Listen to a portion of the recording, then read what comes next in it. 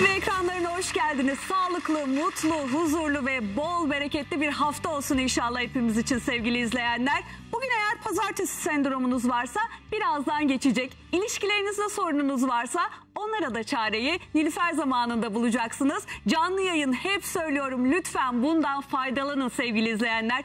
0212 alan koduyla 333 33 70 ve 71'den canlı canlı sorularınızı sorabilirsiniz. Çünkü bugün konumuz ilişkiler. Evlilik olabilir, henüz evlenmemiş olabilirsiniz veya doğru ilişki nasıl olabilir? Bunun cevabını arıyor olabilirsiniz. Tüm bu cevaplar birazdan stüdyomuzda olacak. Ve sevgili izleyenler, evinizde yapacağınız çok kolay bel, boyun ve ağrılarınıza yardımcı olacak tedavisine. Birazdan egzersizleri de yine Nilüfer zamanında yapıyor olacağız. O zaman hemen ilk konuğumu davet etmek istiyorum. Kendisi ikili ilişkiler uzmanı. Aynı zamanda bir yazar Adil Yıldırım geliyor. Evet ve Adil Yıldırım Merhabalar. bizimle birlikte Merhabalar. tekrar hoş geldiniz. Hoş Nasılsınız? bulduk. Çok teşekkür ediyorum. Burada olmak harika. Evet aynı şekilde sizi ağırlamak da öyle. Yaptığımız tüm yayınlardan sonra konuşamadığımız bir sürü konu kalıyor. Çünkü konu ilişkiler olunca ne sorun bitiyor e, ne de sorular bitiyor. O yüzden bugün gene harika şeyler konuşacağız. Çok fazla konu var. Bir de yanımda bir arkadaşımı getirdim şöyle. Neymiş o kara kaplı Kara defter. kaplı defter kendisi benden daha ünlü. Biraz kıskanıyorum aslında ama ilk defa bir canlı yayında. Ne var içinde onun? Çok gizemli Yayın konular var. mı? Çok gizemli konular var ya. Bugün tahta falan da var. Ben de bugün Adil Bey ne yapacak gerçekten bilmiyorum. Tek bildiğim verdiği öğütler işe yarıyor. Teşekkür ediyorum. Yani en azından bizim çevremizin Ne verdiği mutlu. öğütler bir bir işe yarıyor. Peki o zaman şöyle başlayalım. Hep bir tartışma var. Bunu da programda aslında hep konuşuyoruz. Biz bugün aslında ana konumuz mutlu ilişki var mı? Sürdürülebilir ilişki var mı? İlişkilerde sorun varsa çözülebiliyor mu gibi konular ama hep tartışılan bir şey var. Doğal mı olacağız? Stratejiyle mi yaklaşacağız ilişkilerimizde? Evlilikte de normal evlenmeden önceki ilişkilerimizde de. Bu konu son derece kritik bir konu. Çünkü yüzde yüz doğallığın bir ilişkide mutluluğu getirdiğini pek fazla görmedim. Çok fazla şahit olmadım öyle söyleyeceğim. Yani ne yüzde yüz strateji ne de yüzde yüz doğallık. Çünkü insan birisiyle iletişim kurarken, birisiyle ilk adımı attığında hep kafasında bazı planlar vardır. Mesela bir erkeğin hani şimdi yaz aylarındayız yeni bir ilişkiye başlarken acaba ben bu kadına nasıl tanışabilirim? Bu bir stratejidir. Yüzde yüz doğallıkla aa işte ben seninle tanışmak istiyorum diye gittiğinde başarılı olma şansı sıfır. Onun için kadını etkileyecek bir cümle, bir kelime sarf etmesi gerekiyorsa işte bu strateji. Bunları bilmesi gerekiyor. Aynı şekilde kadının da mesela en çok sorulan sorulardan bir tanesi. Burada kara kaplı defterimde var yani bu konu. Nasıl sinyal vereceğini bilmesi gerekiyor. Hmm, birinden hoşlanıyor ve Tabii. ona nasıl Tabii. benim de aslında sana hafiften gönlüm var diye bir sinyal Tabii. verecek. Çünkü erkek ilk sinyali mutlaka kadından bekler. Bu çok önemli bir konu. Yani Ya 12'de bir istatistik var demiştin. Evet. Bir daha tekrar edebilir misin o yayını izlemeyen seyircilerimiz geçtiğimiz için? yayınlarda söylemiştim. İngiltere'de yapılan bir araştırma işte bar işte bir takım kafe gibi mekanlarda bir erkek 12 defa en az bakmayan bir kadına gidip konuşamıyor. Evet. Yani 12 defa gözü değmesi lazım Aynen. aslında. Göz göze gelmek değil değil mi? Bakışların Kesişecek. karşılaşması gerekiyor. Hmm. Eğer bunun üzerine kadın birazcık da bir gülümseme, hani birazcık da böyle bir hafif işte konuşabiliriz tarzı bir anlam koyabilirse bakışlarına erkek rahatlıkla gidiyor ve konuşuyor. Buradan bir diyalog başlıyor. Aslında İngiltere değil konu. Yani dünyanın her yerinde bu böyledir. Uzun yıllar İtalya'da yaşadım. Orada da böyledir. Ya bir sinyal verilmesi çok önemli erkek için. Neden biliyor musunuz? Çünkü erkekler arasındaki rekabet çok yoğun. Erkekler birbirleriyle nasıl dalga geçerler? Oğlum ya işte kız sana bakmadı ya falan. Ya buradan. Onun için özgüveni hemen Bizde iner. tam tersi bizde dostlar arasında acayip bir kadın dayanışması vardır. Boş ver seni hak etmiyor. Ondan sonra sen daha değil. iyilerine layıksın. Bizde Siz öyle tam değil. tersi. Bizde öyle değil. Ay, çok Erkek ilginç bu. Şimdi ben e, özellikle YouTube kanalımda hep şu e, mesajda ilerledim. Ben heteroseksüel erkek dünyasını kadınlara anlatıyorum. Dolayısıyla erkek dünyasının gizemlerini hani böyle hiç akla gelmeyen noktalarını anlatıyorum. Pek anlatılmayan. Ee, erkek dostunuz kaldı mı bazen hayır. diyor- bazen biz artık öldürme diyen arkadaşlarım var yani öyle durumlar var. Ama bu çok önemli bir konu. Erkeklerin arasında rekabet var. Dolayısıyla bir erkek bir kadınla tanışmak için gittiğinde yaklaştığında şu vardır. Acaba beni reddeder mi? Reddedilme korkusu var yani erkeklerde. Çok ciddi olarak. Çok ciddi olarak. Acaba Allah beni Allah. reddeder mi? Aslında hani bunun sonunda idam cezası yok. Korkacak bir şey yok o kadar. Ama erkekte bu çocukluğa kadar gider. Neden biliyor musunuz? Mesela çocuklukta da futbol oynarken sokakta falan niçin gol atar bir erkek? İşte kızlara hava yapmak için. Hep böyle bir rekabet vardır. İşte ben Ahmet'ten daha iyiyim, ben Mehmet'ten daha iyiyim. Bütün konu budur. Ve bu rekabet nedeniyle de reddedilmekten nefret eder. O zaman iş dünyasında başarılı olmanın Aa. e, önemli kriterlerinden biri de belki kadınlara o başarıyı kanıtlamak da İnanılmaz olabilirdi. derecede. Ha. İnanılmaz derecede. Ben burada bu programda ilk defa bir konuyu açıklayacağım. Hangi erkek tamamlanmıştır ve ilişkide sizi mutlu edebilir? Özellikle bu programda buna hazırlandım. Üç madde var. Çok önemli kadınlar için bu üç madde. Yani üç maddeye eğer bir erkekte dikkat ederse bir kadın o erkek seni ilişkide mutlu edebilir mi ya da evliliğe gidebilir mi bunu anlayabilirsin. Bu Ha, çok yani önemli. şöyle ilişkimiz e, bundan sonra iyi bir yola mı gidecek? Evet. Bunu bilmenin üç tane sorusu varmış. Bu soruyu kendimize soruyoruz ama değil Aynen. mi? Erkeği bu üç soru üzerinden analiz ediyorsunuz. Kara kaplı defterde yazanlardan biri o mu? Bakın buradaki gizemli konulardan bir tanesi bu. İsterseniz onunla açalım konuyu. Hadi tahtaya geçelim Aynen öyle. yazalım çünkü bu üç kural e, sevgili izleyenler o kadar önemli ki değil mi? Yani herkes bunu bilmek istiyor. Yani Kesinlikle. ilişkimin sonu ne olacak? Çünkü başı hep iyi başlıyor.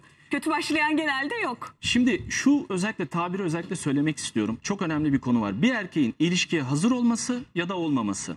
Eğer bir erkek kafasında ilişkiye hazır değilse, o psikolojide değilse, kadın bütün hareketleri doğru yapsa bile hiçbir şekilde erkek onu mutlu edemez. Hiçbir şekilde bu ilişki evliliğe gitmez. Çünkü erkeğin tamamlanma duygusu çok önemli. Bakın kendini gerçekleştirmek diye bir tabir var ya. Bir erkekte o rekabet ortamında çocukluktan itibaren var olan rekabet ortamında erkeğin kendini gerçekleştirmesi son derece önemli. Bir, işi. Mutlaka işi ona güven veren bir iş olmalı. Tabii benim yazım oldukça okunaksız ayrı bir konu öğrencilik yıllarımdan beri ama elimden geleni yapacağım Olsun burada. görüyoruz. İkinci konu Yani bu çok zengin olması anlamına Değil, gelmiyor. oraya geleceğim. İş- işinden tatmin olması aynen öyle. lazım. Çünkü erkekler arasında ilk sorumuz şudur bizim. Hani ne iş yapıyorsun? Doğru. Abi ne iş yapıyorsun? Konu budur. Burada kemküm eden bir adam bir kere kendi arkadaşları arasında bir özgüveni aşağı doğru inmeye Doğru. başlar. Çok kritik bir konu bu. İki, pozisyonum ne? Yani statüm ne? Ne müdür müyüm? Müdür yardımcısı mıyım? Statümle yazalım. O daha belki tam tanımlayacak kelime. Statüm nedir? Ve üç, işte maddiyat konusu burada devreye giriyor. Ne kazanıyorum? Şimdi burada maddiyat dikkat ederseniz hani kadınları tavlamak için değil de erkek aleminde yani erkeklerin arasında acaba işte hani ne, ne çeşit bir arabaya biniyorum? İşte acaba şu ne kadar kazanıyor, ben ne kadar kazanıyorum? Erkek aleminde bu önemli. Bu şundan dolayı önemli. Çünkü biz çocuk yaşlardan itibaren tamamen çok yoğun bir rekabetle büyüyoruz. Dolayısıyla mesela anneler de hani oğullarını falan büyütürken şuna dikkat onu bir daha yazayım. Ben, dur ben yazayım Adil Bey. Sizin yazınız çok daha okunaklı olabilir. evet. Mesela anneler de şöyle eğitiyor. İşte benim oğlum şundan daha başarılı, bundan daha başarılı. Aslında anneler Türkiye'deki bu kültürde hep bu rekabet üzerine. İşte şunun oğlu şu üniversiteyi kazandı, sen de burayı kazan gibi. Bu rekabet üzerine ilerlediği için erkeğin kendini gerçekleştirmesi üç adımdadır. Bir kere kendini gerçekten böyle güçlü hissettiği bir işi olmalı. Yani ben bu işte iyiyim. Çünkü baktığınız zaman detaylı her erkeğin iyi olduğu bir konu vardır. Kimisi mühendistir, kimisi öğretmendir falan filan. Daha sonra ben bu işte statüm ne? Hangi pozisyondayım? Hangi işi yapıyorum tam olarak? Bunu kafasında tam olarak oturtması gerekiyor. Ve üçüncü konuda ne kazanıyorum? Yani şuradan aslında maddiyattan ziyade yaptığım işin karşılığını alabiliyor muyum? Şimdi bunları gerçekleştirmiş bir adam bir kadınla yaklaştığında artık şunu düşünmeye başlar. Ben evlenebilirim. Tabii. Çünkü en azından Heh. en önemli şu maddeleri Evet. geçmiş oldum ve bunlar beni tatmin ediyor. Evimi geçindirebilirim. Bu çok önemli. Şimdi bana çok fazla gelen soru sosyal medya üzerinden YouTube, Instagram üzerinden gelen bir soru vardır. Ya bir çocukla birlikteyim, iyi anlaşıyoruz ama sanki evlilik modunda değil. Neden? Buralara dikkat edelim bakın. Ya işinden memnun değildir, ya kazandığı paradan memnun değildir ya da işinde hak ettiğini düşündüğü statüye sahip değildir. Onu bekliyordur. Çünkü bunları gerçekleştirdiği zaman erkek nereye bakar biliyor musunuz? Evliliğe bakar.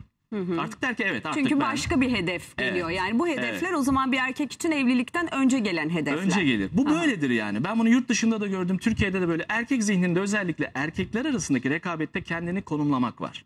Ya ben bir yerdeyim. Bu arada ondan daha çok para kazananlar, daha ileride olanlar vardır. Mesele o değil. Ama adam kendini o pozisyon içerisinde rahat hissediyor. Diyor Evet, ki bu üç maddeyle kendinin mutlu olması kendini gerçekleştirdi. aslında. Tamam. Ve ondan sonra da artık tamamen evliliği düşünüyor. Arada sorulara da yer verelim mi? Çok güzel bir soru gelmiş Instagram'dan. Bir izleyicimiz yazmış. İsmini söylememizi istememiş elbette ki.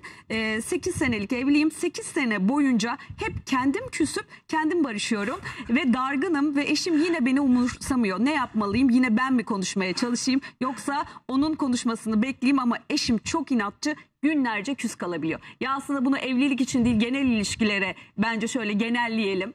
Ee, o kadar önemli bir konu ki hepimiz yapıyoruz bunu kadınlar arasında çok yaygın. Kendimiz küsüp gene kendimiz var. Burada soruyu soran bir hanımefendi sanırım. evet evet tabii hanımefendi. Şimdi iletişim çok önemli bakın. İletişim yani eğer bir sorunuz varsa bunu sağlıklı bir zeminde karşı tarafa aktarabilmek son derece önemli bu. Zaten ilişkilerde ve evlilikte sorunlar %90 iletişim sorunudur. Her konu olabilir. Mücbir sebepler olabilir. Yani ekstrem durumlar olabilir. Ama doğru bir iletişimle hepsini çözebilirsiniz.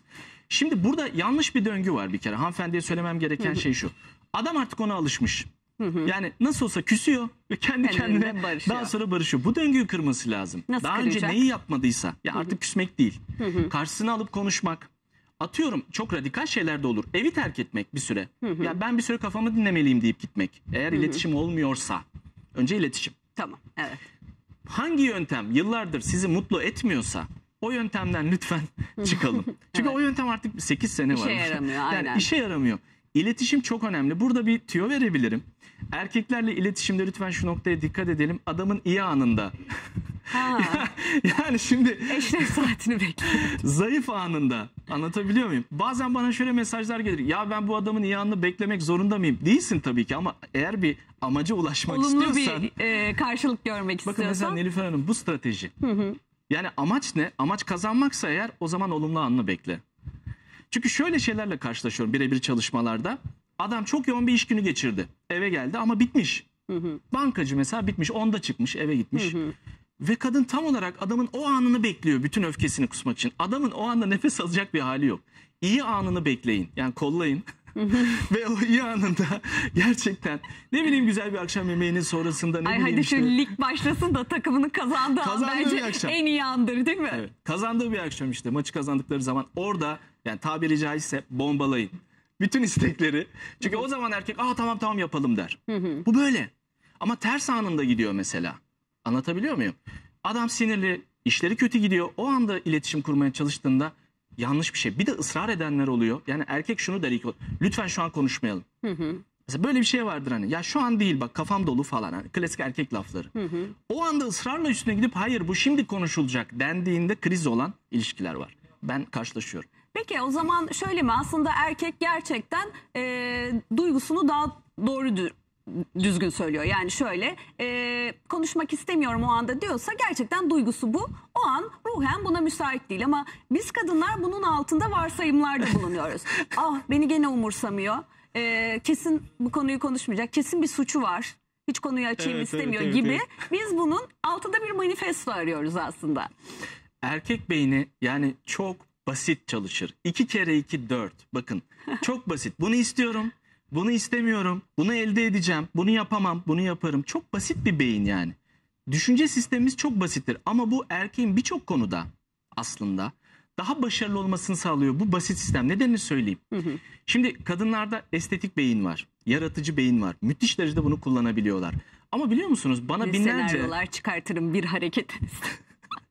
Bakın bana binlerce gelen bir mesaj var kadınlardan. Belki siz de duydunuz. Adil Bey ben erkeklerle çalışmayı daha çok seviyorum. Evet. Ben bunu hep duyarım. Neden biliyor musunuz? Bu kılı kırk yarmadan dolayı. Erkek çok basittir. Gider erkek müdürüyle veya çalışanıyla bir şey söyler. Erkek tamam der bitir. Ama kadın onun altında bin tane şey şey. al- yani Şimdi doğru. ben uzun yıllar kadınlarla çalıştım yurt dışında. Şimdi şirket ismi vermeyeyim. Kozmetik ki. sektöründe. Dolayısıyla yaklaşık olarak bir 10 senem böyle geçtiği için kadınların iş hayatında birbirlerini nasıl yediklerini çok iyi biliyorum. Bu düşünce tarzından işte. Aha. Yani erkeği iş hayatında yönlendirmek de çok daha kolaydır. Bakın burada birazdan isterseniz değinirim. Burada önemli bir konu var. Erkekleri yönlendirmenin yolları var. Oo.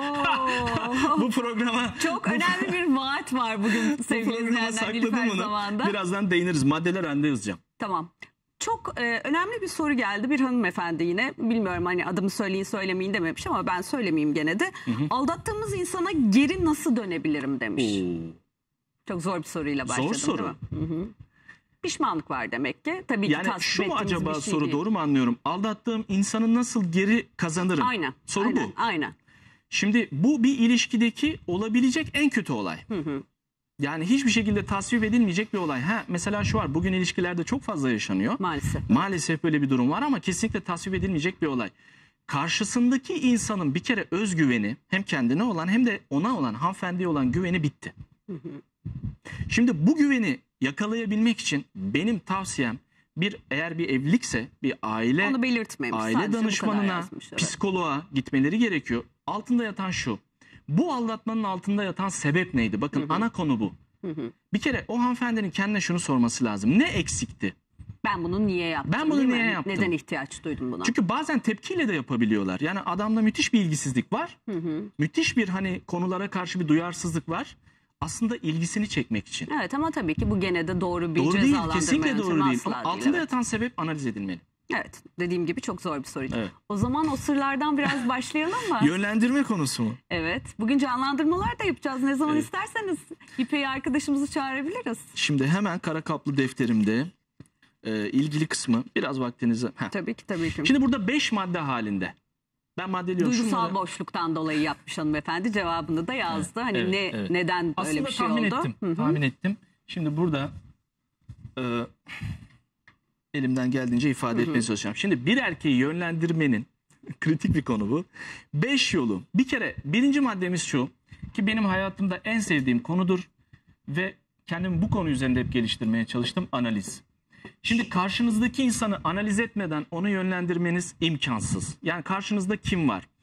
Doğruyu söylemek gerekirse zaaflarını, iyi taraflarını, kötü taraflarını çok iyi bir şekilde analiz etmeniz gerekiyor. Çünkü bunları bilmeden herhangi bir strateji işe yaramaz. Karşınızdaki erkeği analiz edin. Bu adamın korkuları neler? Mesela yeni tanıştığınız birisi, ilişkiniz iyi gidiyor. 6 ay, 7 ay geçti falan. Şöyle bir soru çok önemli. Senin korkuların neler? Çekindiğin şeyler neler? Neden korkarsın? Yani ne bileyim yılandan mı korkarsın? Yükseklik korkun mu var? Ne gibi şeyler? Dolayısıyla bu adamın özellikle düşkün olduğu konuları, korkularını, endişelerini çok iyi bir şekilde analiz etmeniz gerekiyor. İki, bakın bu çok önemli bir madde, ikinci madde çünkü kadınlarda e, bireysel çalışmalarda en çok zorlandığım konudur benim. Bekle ve asla fevri olma. Şimdi bu şöyle bir şey var. Erkekler kabul edersiniz ki kadınlara göre çok daha sabırlı. Evet bu mesajlarda bu aynen. mesajlarda hep vardır. Yani Adil Bey veya Adil abi diyorlar mesela genç arkadaşlar. Dayanamadım mesaj attım.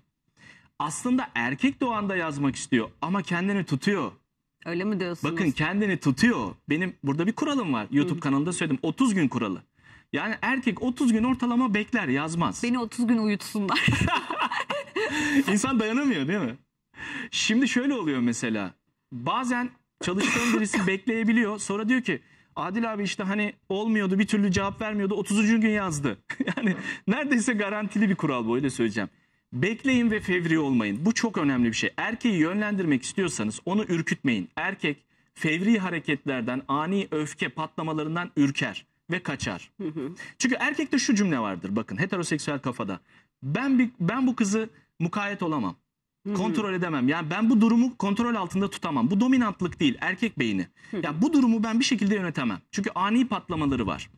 Aniden bağırıyor, çağırıyor. Bu erkeği ürkütür, korkutur yani. İkinci madde fevri olma. Üç, bu çok önemli.